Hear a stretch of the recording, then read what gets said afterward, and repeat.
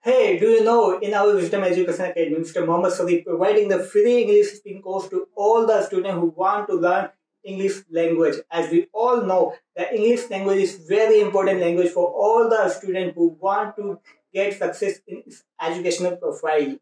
Oh, really? That's a great news. In our Wisdom Education Academy, we are providing the free English speaking course to all the students.